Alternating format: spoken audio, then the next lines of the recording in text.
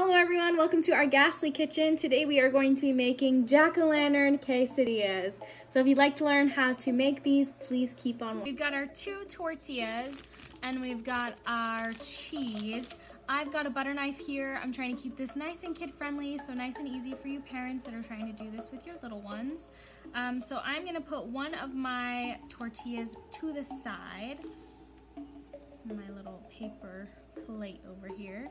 And so I've got my one tortilla, these out of the way. And I'm just gonna carve a jack-o'-lantern face on here. so do some triangle eyes.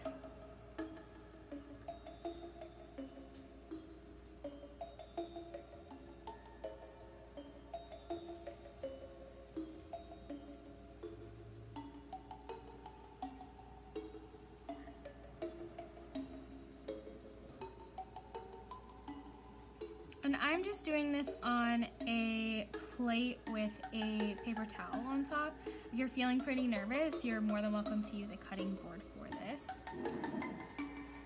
Let's go ahead and do our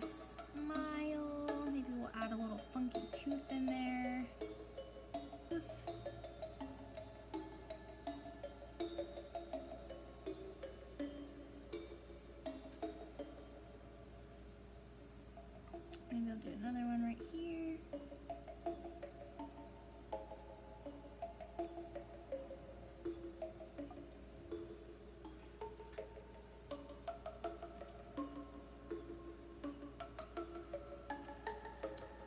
Just gently peel that away.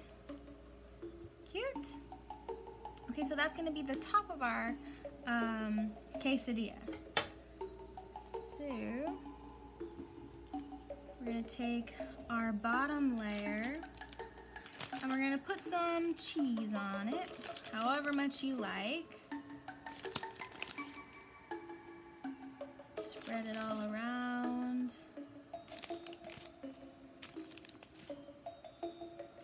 And then I'm gonna put my jack-o'-lantern face right on top. So now I'm gonna keep this kid friendly and I'm gonna toss this in the microwave until it's all nice and melty. If you like, you're more than welcome to cook this on the stove. So we'll see you in a second. All right, and here is our jack-o'-lantern quesadilla all cooked up for you and finished. Um, I hope you guys enjoy this one. Super easy, really fun to do with the kids. Thank you guys so much for watching and don't forget to submit your entries on your Beanstack account for a chance to enter to win.